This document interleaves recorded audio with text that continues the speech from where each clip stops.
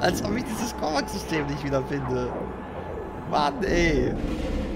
Das gibt es doch gar nicht. Ne, das ist jetzt bei Keen, ne? das ist nicht wahr.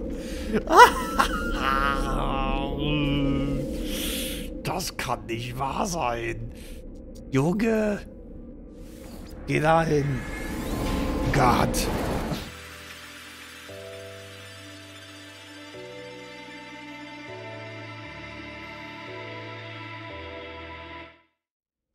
Leute und willkommen zurück zu einer neuen Folge von No Man's Sky. Ja, wir müssen zurück zu unserer Basis und vielleicht bekommen wir endlich, endlich, endlich, endlich, endlich, endlich, endlich, endlich diese Konstruktionsforschungsstation für unsere Basis. Damit, womit es eigentlich hätte lange schon anfangen müssen. Ja, äh, ich habe offscreen mit den Leuten in der Space Station schon geredet. Ich habe die Sprachen schon extrahiert aus ihren Körpern und Gedächtnissen. noch ein bisschen was eingekauft und ähm, ich habe noch ein drittes Bewegungsmodul dazu gekauft. Das heißt, jetzt sind wir richtig gut mobil unterwegs. Und äh, ich wollte jetzt noch eben, bevor wir dann durch dieses Portal gehen, beim Missionsagent... Missionsagent... Wir werden seinen Namen nie erfahren, glaube ich. wollte ich mal ein paar Missionen einreichen, die wir hier noch haben. Und da kriegen wir Units, Korvax, Korvax, Korvax, Söldner ansehen, Valkyn, Kaufleute ansehen und ein bisschen Kram. Was ich allerdings bei diesem Einlösen immer ein bisschen blöd finde, ist, dass man diese Animationen quasi ständig, ja, sich angucken muss. also, leidet mit mir gemeinsam an diesem Angucken der Animationen für das Einholen unserer Belohnungen. Ach ja, ist das schön. Aber die Nanit-Belohnungen sind echt gar nicht so schlecht. Söldnergilde, Ansehen verbessert. Und das ist halt die Sache, man kann sich auf jeder Raumstation so viele beliebige verschiedene Missionen hiervon holen und die dann alle hier quasi einfach einreichen und dann kriegt man teilweise wirklich sehr, sehr guten Stuff daraus. So, und jetzt möchte ich bitte, dass du mir noch ein paar Missionen zeigst. Zum Beispiel Quantumbeschleuniger, elf Kreaturen eliminieren. Das kriegen wir hin. Mache ein Foto auf einer stickigen Welt. Das kennen wir auch schon. so. Und nochmal 10 Kreaturen eliminieren. Es ist halt die Sache, das habe ich glaube ich schon mal erklärt, dass sich das einfach stackt quasi. Es stackt sich quasi einfach hoch. Das heißt, wenn ich jetzt äh, elf Kreaturen eliminiere, mache ich die und die Mission gleichzeitig und noch die von vorhin, von, von einer Weile, die ich mal angenommen hatte.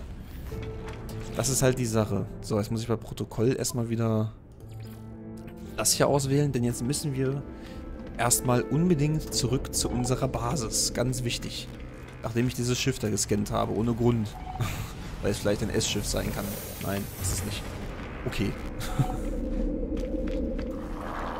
du warst der Kartograf. Hier, bei dem kann man manchmal sich äh, Belohnungen abholen. Kaufleute muss Handel ist zu Geschäft anderswo. Also anscheinend nicht. Nee, können wir noch nicht. Der hat manchmal zwischendurch Belohnungen für uns, deswegen da manchmal nachzufragen ist gar nicht so schlecht. So, jetzt aber endlich endgültig Richtung Basis. Und zwar hierhin. Und bei diesem Kest-Außenposten müssen wir uns noch Materialien wieder abholen. Weil dann nämlich noch eine alte Basis von unserem Quecksilber-Kram ist. Da müssen wir uns die Materialien noch zurückholen. Das werde ich auch tun. Bald. So, wir sind zurück. Hallo. Alte Basis, wie geht's? So, dein neues Zuhause erweitern mit Personal besetzen. Da ist er. Bauplan im Katalog aufgezeichnet.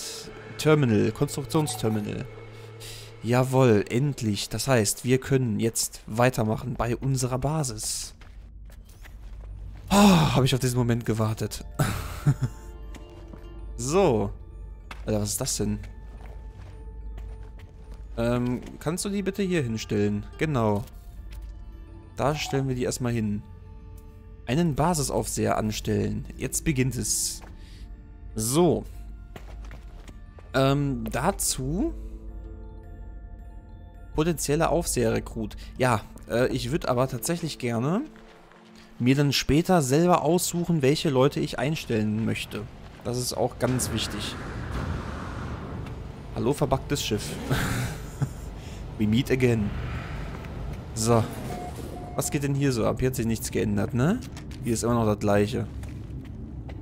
Nur zu wissen. Aber die Dinger kann man, glaube ich, wieder neu einholen. Ne, kann man nicht. So, Kaufmann Ida. Ja, mit dir kann ich aber auch nicht mehr interagieren, glaube ich. So, was ist eigentlich hier mit den Büschen? Sind die Büsche wieder zurück? Ich weiß es nicht. Alter, was macht der denn da? Machst du einen Tanz? Komm, tanz mal für mich. Ja, guck mal. Wie geil. Na komm, spring. Spring. Oh, ich glaube, jetzt will er nicht mehr, oder? Ich glaube, er hat uns gesehen. Bin mir nicht ganz sicher. Er könnte uns gesehen haben. Ja, was ist denn da? Da ist wieder Party. Und da hinten sind Trümmer. Das könnte vielleicht ein Frachter sein. Vielleicht waren wir da ja sogar schon mal. So. Heißt das, den potenziellen, den wir jetzt einstellen könnten, ist in diesem System? Sehe ich das richtig? Weil dann fliege ich da jetzt mal hin, ne? Und gucke mal, ob wir den einstellen können. Oder einstellen müssen, ich weiß es nicht. Können auf jeden Fall, müssen weiß ich nicht. Vielleicht sieht es die Quest ja vor. Ich hoffe nicht, dass wir ähm, einen zugewiesenen Typen für unsere Exo-Fahrzeugbucht kriegen. Weil die ist nämlich schon reserviert. Für eine ganz bestimmte Person. ihr wisst genau, von welcher ich rede. So. War ich denn da auf dem Planeten schon? Das ist, der, das ist dieser unbelebte Planet. Und da soll ein Aufseher sein? Nee, glaube ich nicht. Das ist die Raumstation, oder? Das muss doch die Raumstation sein, oder? Ich komme, hallo. Assistent Gaffia. Hey, was geht? Bist du es wirklich? Verzeih mir. Aber ich suche dich schon so lange. Ja, ich weiß. Das haben wir schon mal gelesen. Ich möchte dich bitte bei mir einstellen. Da wirst du dich bestimmt drauf freuen, oder? Dieser Gag hat etwas Überzeugendes an sich. Er soll sich bei mir wie zu Hause fühlen. Na dann viel Spaß. Ich werde an meinem Platz sein. Ehe du dich versiehst, bis bald, mein Freund. Okay. Teleportiere dich fort. Ähm. Teleportiere dich fort. Ne, jetzt möchte er Schiffe verkaufen. Was sagt er denn jetzt eigentlich, wenn ich ihn nochmal...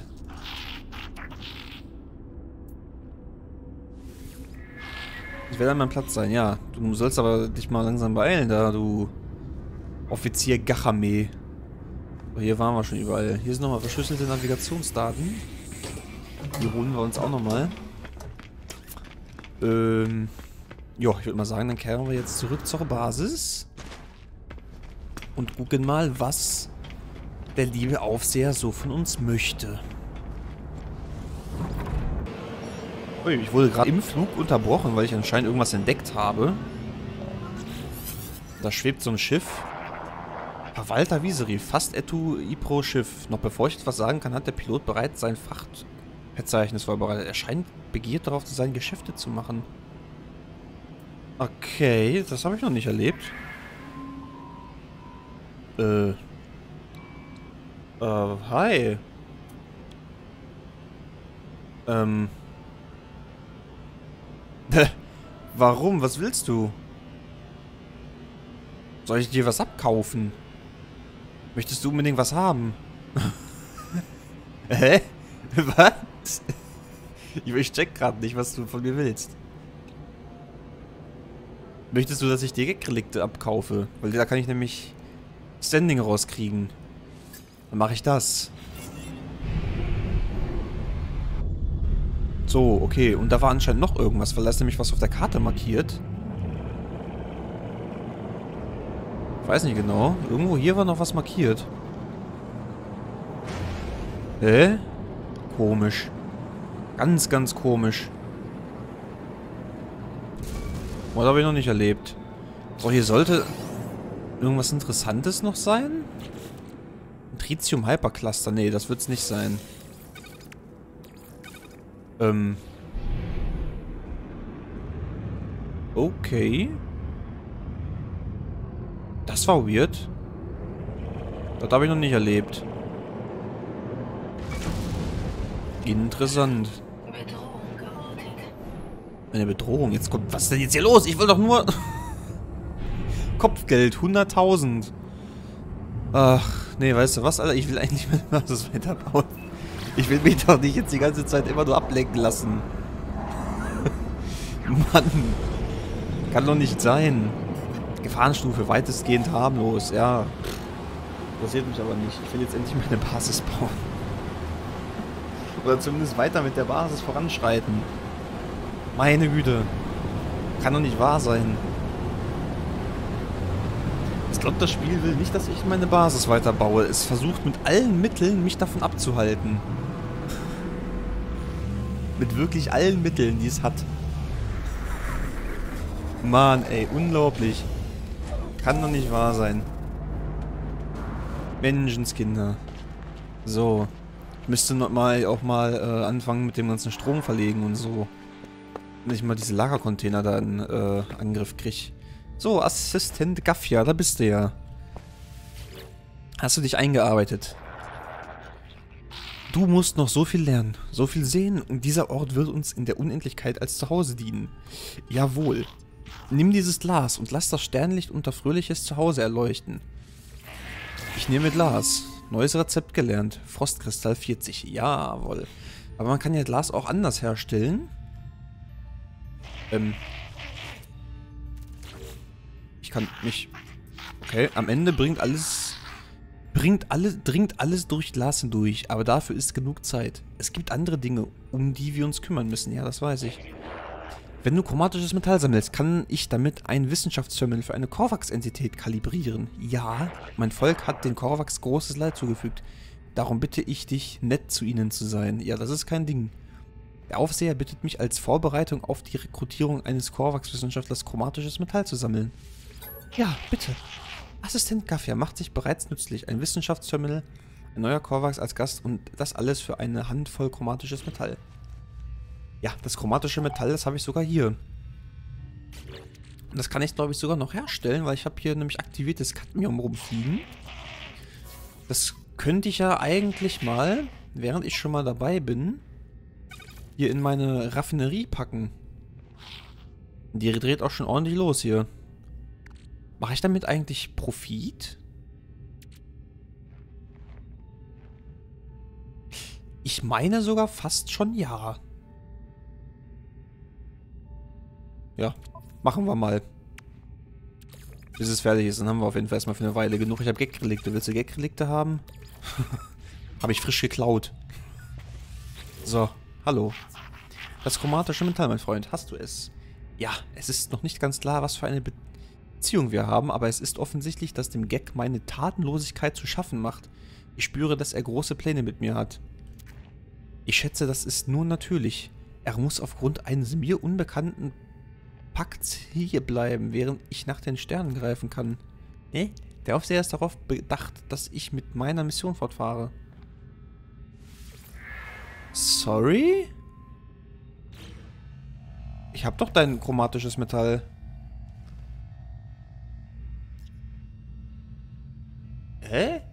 Okay. Da bist du ja wieder Reisender. Diesmal hast du die benötigten Materialien doch sicher dabei, oder? Ja, ich hatte sie vorhin auch schon dabei. Du hast sie aber anscheinend nicht gefunden.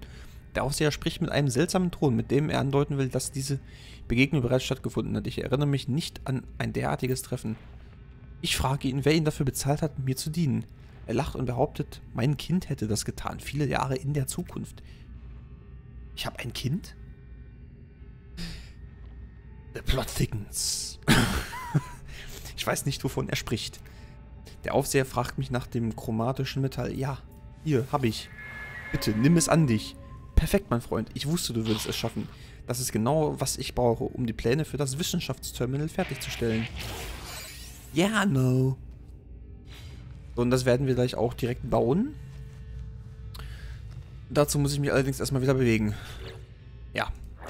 In unserer Gier haben wir das Universum vermüllt, Reisender. Und dieser Planet bildet da keine Ausnahme. Aber aus Müll kann man eine Menge machen.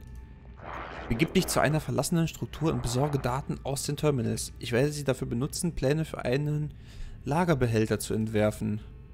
Für einen Gag ist Assistent Gaffia sehr nachdenklich. Er scheint die Gier, die sein Volk charakterisiert, nahezu bedauern. Er wünscht sich aus den Überresten des Alten etwas Neues zu machen. Ist das auch nur eine versteckte Form der Gier oder etwas anderes? Hm. Ich plädiere doch auf ganz viel Gier. Was auch immer sein Motiv sein mag.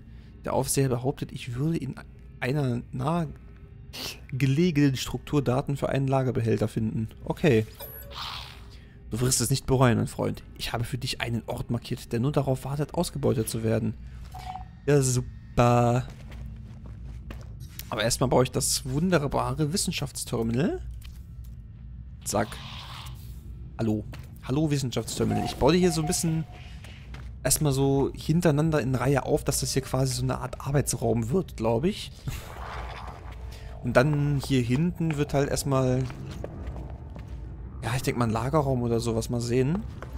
Weil hier nach hinten kann ich dann die Basis nämlich auch noch die jeweiligen Richt Richtungen ausweiten. Das heißt, ich könnte dann da zum Beispiel in der Mitte so eine freie Ecke oder so lassen. Das würde funktionieren. Hm. Ich finde es halt nur schade, dass wir hier kein Wasser haben. Weil ich wollte auch mal irgendwann mit äh, Unterwasserbasis teilen weitermachen. Ich wollte eigentlich hier mal... Hier kann man kann doch... Äh, man kann doch... Man kann doch... Das hier tun. Sehr gern. Mach mal. Genau. Hier kann ich jetzt nämlich was holen, glaube ich. Konstruktionsdatenbank, Archive durchsuchen. So, und hier müssen wir was kriegen jetzt. Okay, mein Ex-Anzug hat mich zu einem abgestürzten Raumschiff geführt. Jetzt geht das schon wieder los mit dem Drogenkram. Steuerung reagiert auf meine Berührungseingabe und ich muss davon ausgehen, dass er mir... dass es mir gehört. Ich kann mich aber weder daran noch an etwas davor erinnern. So, was kriege ich? Baupläne. Basistechnologie extrahiert. Pläne für den Speicherpunkt wiederhergestellt den man zur Verwaltung des eigenen Fortschritts bauen kann. Okay. Na dann. Noch was? Ich kann mich schon wieder nicht bewegen. Wiederherstellung des lesbaren Archivs abgeschlossen. Beginnt mit der Datenfragmentierung des nächsten Segments. Alles klar, dann wünsche ich dir dabei mal viel Spaß. So. Dein neues Zuhause erweitern und mit Personal besetzen. Das habe ich, glaube ich, getan, ne? Erstmal. Rekrutiere einen... Rekrutiere einen Korvax-Wissenschaftler für deine Basis. Ja. Ich weiß, das müssen wir tun. Aber ich glaube, der Konstrukteur, der hatte noch was, ne? Hier, wissenschaftliche Forschung, fortschrittliche wissenschaftliche Forschung, einen Basiswissenschaftler einstellen. Okay, also beides das gleiche. Ja, dann tun wir das mal. Dazu müssen wir aber erstmal hier wieder unsere Portalgeschichte in Gang setzen. So, ich werde mal diesmal zum Treibstoff, ähm, hier Sauerstoff einfügen, weil davon habe ich nämlich viel mehr als Kohlenstoff aktuell. So. Damit die Batterie hier nämlich loslegt. Ist dann eigentlich sofort der Strom aus, wenn ich, äh, ja, der ist sofort aus, alles klar. Aber ich komme ja quasi instant wieder zurück. Das heißt, dann kann ich das ja wieder verwalten. Jetzt weiß ich nur nicht, wo ich das letzte Mal gewesen bin. Ich würde ja gerne vielleicht ein paar Infos haben. Ne, die Kurima war es nicht. Es war der Etsushi, genau. Das war die neue Station, ne? Der, da wo es Sushi gab, nämlich. Meine ich zumindest, dass es die war. So, und da dürfte es doch bestimmt den Korvax-Wissenschaftler geben, ne?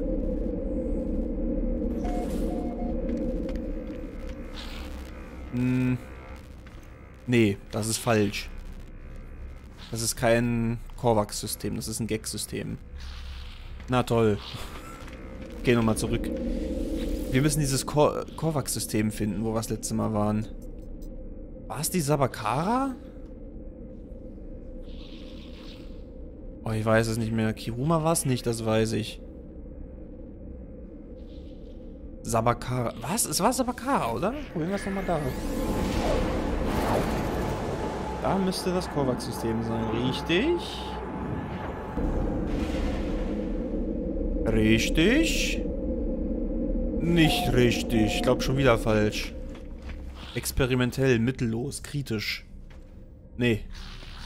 Gag. Okay, das ist jetzt ein bisschen peinlich. Warte mal, kann ich bei dir vielleicht Missionen holen oder so? Nee. Okay, dann F dich. So. Komm, wir kriegen das hin. Wir kriegen das hin. Loganesus 1. Äh.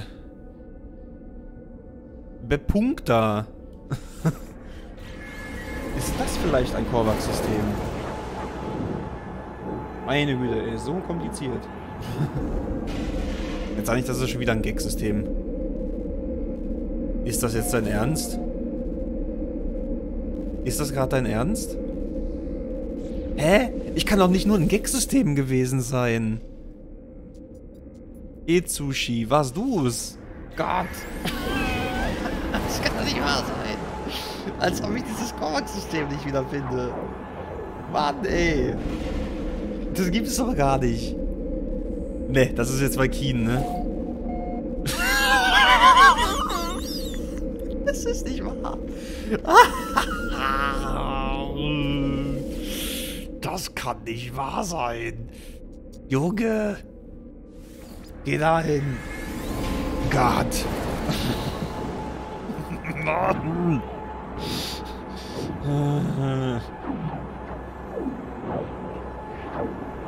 So, jetzt aber... Korvax. Ja, das sieht nach Korvax aus. Oh, Gott sei Dank. So. Hier muss es einen Wissenschaftler geben. Bin mir sicher. Der muss, glaube ich, auf der anderen Seite sein. So, und wehe nicht. Wehe nicht. Dann aus, ich flippe. Was warst du? C. Nee, danke. So. So, hier dürfte es doch einen Wissenschaftler geben, ne? Forschungsentität EPA0. Alle sollten innen aber nicht Trennung. Das ist kein Typ für Wissenschaft. Du bist kein Wissenschaftstyp. Bist du ein Wissenschaftstyp? Die freundlich begrüßende elektronische Lebensform verlang verlangsamt sich plötzlich. Sie zapft ihre persönlichen Daten an, während sie die Lichter im Gesicht weiten und die internen Systeme abstürzen. Datenflüsse zeigen, wie sich die Energie langsam dem Ende neigt. Verlust, Hilfe, organisch.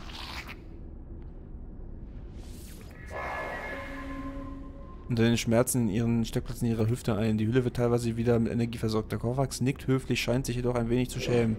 Wenn er solche Bitte gestellt zu haben, er überreicht mir zum Dank ein Geschenk. Oh, 74 Nanit. Moment. Äh.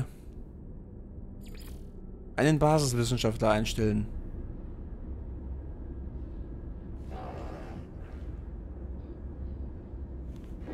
Ja? Ist hier keiner? Wo soll ich denn einen finden, bitte? Personal besetzen. Rekrutiere einen Korvax-Wissenschaftler. Reife mit Escape auf die Missionsprotokoll und wähle wissenschaftliche Forschung aus. Ja, habe ich getan. So, und weiter?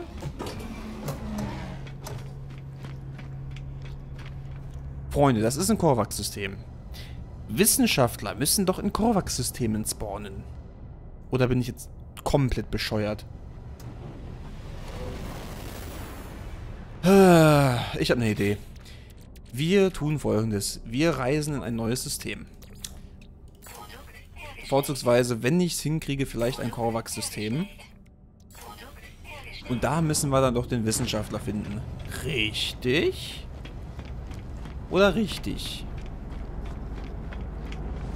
Ich hoffe es für dich, dass es richtig ist. so, auf geht's.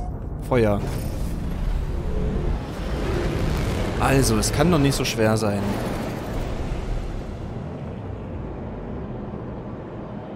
Emeril. Achso, das war ein Event-Planet, glaube ich, ne?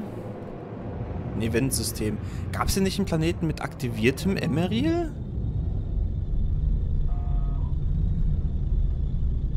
Nur um mich wieder ein bisschen abzulenken von der eigentlichen Aufgabe. Chromatischer Nebelplanet. Ja, da waren wir schon mal drauf. Dann gibt es noch dich. Stützenplanet. Und dann gab es noch da hinten etwas. Aktiviertes Emeril. Verdammter Jadeplanet. Da will ich ehrlich gesagt mal erkunden gehen. Verdammter Jadeplanet. Da ist auch Wasser drauf. Hohe Wächteraktivität. Und da gibt es aktiviertes Emeril. Hm. Schauen wir mal vorbei. Ich wurde mal wieder bei meinem Flug unterbrochen. Der Händler übermittelt sein Frachterverzeichnis.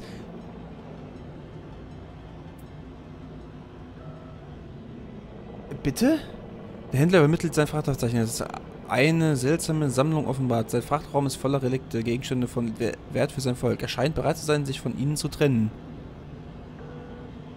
Um Relikt feilschen. Da bräuchte ich einen Korvats Konvergenzwürfel für. Phosphor habe ich ziemlich viel. Das kannst du haben. Das Relikt ist den geforderten Preis wert. Ich bin mir zwar nicht sicher, wofür es eigentlich gut ist, aber dieses, diese Gegenstände werden von den Leuten dieses Systems hochgeschätzt. Von Gag stammenden Eiern. Ja, okay. War jetzt kein schlechter Deal. Aber jetzt bin ich ein bisschen äh, weniger Phosphor. Äh, äh, jetzt bin ich ein bisschen weniger... Warum kannst du reden, Leute? Wald breit. so, Moment. Äh, mich erweckt ein Geistesblitz. Äh, ähm, ähm, ähm. Ich möchte... Was wollt ihr jetzt? Ich habe ich hab, ich hab's irgendwie voll verplant jetzt gerade. Der Planet ist weg. Aber da ist irgend... Da ist irgendwas. Achso, da fliegt dieses, äh... Gedönsel, oder was? So, da ist der Planet. Okay. So, dann sehen wir uns jetzt auf dem Planeten wieder. Mein Gott. Alter. Was geht denn bitte hier ab? Hier ist eine kleine Basis. Hier lande ich mal. Allgegenwärtige Toxine. Durchsetzungsfähig. Viel nicht vorhanden. What the fuck ist das, Alter? Ich kenne das. Ich habe das schon mal in einem... Das war schon mal bei einem Eventplaneten. Hallo? Was zur Hölle seid ihr denn? Eins von 15 Lebensformen gibt es hier.